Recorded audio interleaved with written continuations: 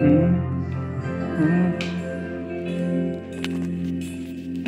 My life is extraordinary bad. I fought the fear and chased the pain. My life doesn't need to be explained. I chose to walk the line one. Sometimes,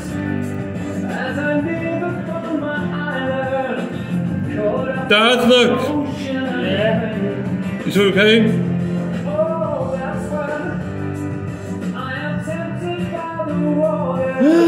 So, uh, Gary Barlow.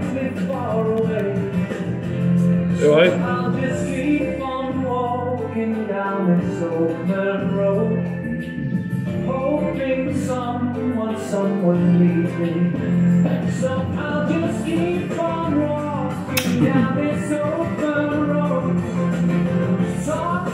to me. Yes, he knows me, and it's me. My life was once full of people's faces, brought to me by love, which is the stream. Oh,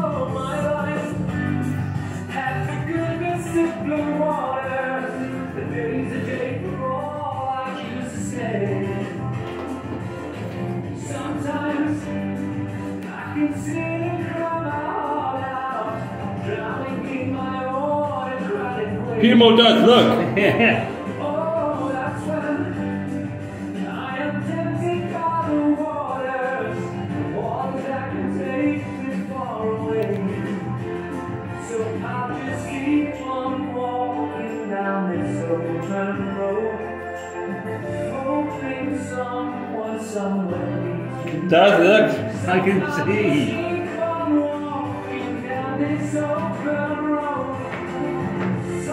Keep on walking down this open road. Peter Mo Dad. Yeah. Let's focus. These serious stuff.